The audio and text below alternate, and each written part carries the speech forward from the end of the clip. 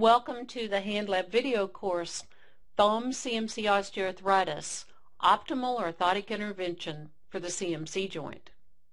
So usually there's laxity of one or more joints, but it may not be the CMC. So what I'm going to do is I'm going to grab her first metacarpal, I'm going to hold my finger over her trapezium, and I'm going to push have really appreciated that if we can transfer the load by changing the pinch, remember how I said we don't want these parallel? Around that way. What do you see? Now tear. Try to tear. Whoa.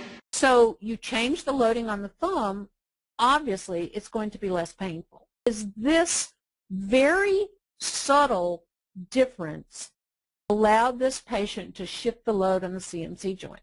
Now I'm going to mark two marks on the ulnar border, covered by the orthosis, but that it does not impede on either of these joints. Continue parallel to the lines drawn. If the thumb had not been abducted, we would have drawn a pattern more like the blue outline to mold around the relaxed thenar muscles. We need to be looking straight into the palm. The pattern has been positioned correctly because as these muscles are relaxed, you want to mold it snugly around the muscles. Solid as a rock this way. Can't do it. The most important thing is easy maximum abduction of the thumb. 90 degree midpoint going out. So it's often confusing as to which of these goes where. I make this split, and I'm not trying to push in here. That's not the point. I'm just trying to make this right here small smaller than her thumb. You can make something that looks just like this, but if you haven't put it on. The orthosis in place, have them repeat the pinch, the activity, whatever you did, to evaluate the efficiency uh, and the cost effectiveness of uh, the MetaGrip.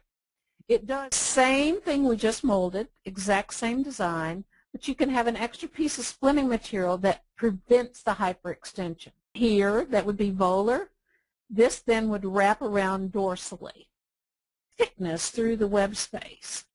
They want to make a circumferential orthosis that includes the CMC joint uh, if the STT arthritis cannot be controlled with just a CMC joint.